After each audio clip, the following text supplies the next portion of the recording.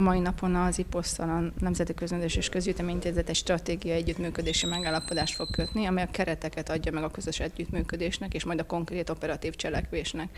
A stratégiai együttműködési megállapodást a Nemzeti Közönös és Közgyűjteményintézet minden olyan kiemelt partnerivel megteszi, aki, amelyek a kötelezően ellátandó feladatához tartozóan valamilyen szinten szoros együttműködésben a, a közpénzek hatékony elköltése és felhasználása érdekében a legtöbbet tudják tenni tenni, összességében együtt, közösen, közösen fellépve abból a büdzséből, amelyek rendelkezésre állnak mind a intézménynek, mind a, mind a partnerszervezetnek. Nagyon fontos azt tudatosítanunk, hogy, hogy ma Magyarországon a jelen pillanatban levő társadalmi-gazdasági helyzetben sajnos elég szűkösek a körülmények, és önállóan külön ágazatok nem fogják tudni megoldani az egyes társadalmi-gazdasági problémákat. Nagyon fontosnak tartja az intézet az együttműködést, a partneri stratégiai együttműködés, ugyanígy a vidékfejlesztéssel, az IPOSZ-szal, illetve a Népművészeti Egyesületek Szövetségével is, és a elkövetkezendő partnerekkel is. Ami közös pontunk lehet az iposz az mindenféleképpen, ami kötelező feladata az intézménynek, a népi kézművesség és a hagyományápolás, hagyományőrzés vonatkozásában.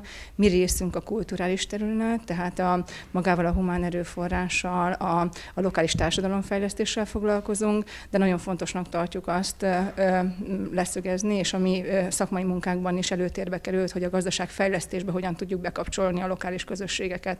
Ebből a szempontból vetettünk fel olyan kérdéseket, amelyek gyakorlatilag némely pontokban, illetve stratégiai kérdésekben illeszkedik az IPOSZ-nak a stratégiájával. Ezért gondoltuk azt, hogy közösen fellépve, közösen, közös stratégiai álláspontot meghatározva, akár a közeljövőben is már operatív szinten tudunk egyes programoknak az együttműködésében dolgozni.